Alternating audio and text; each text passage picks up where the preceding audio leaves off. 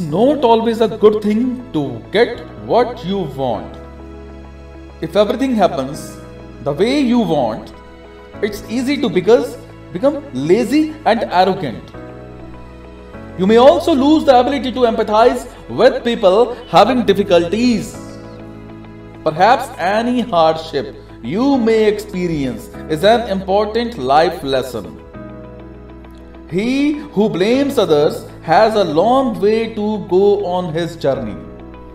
He who blames himself is halfway there. He who blames no one has arrived. You know, things that will make your life easier. Ask questions before disagreeing. Build your listening muscle.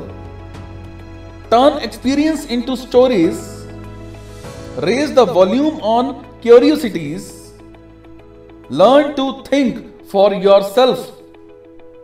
And 5 minutes or less is equal to do now. Do your difficult tasks first and make meditation as a priority.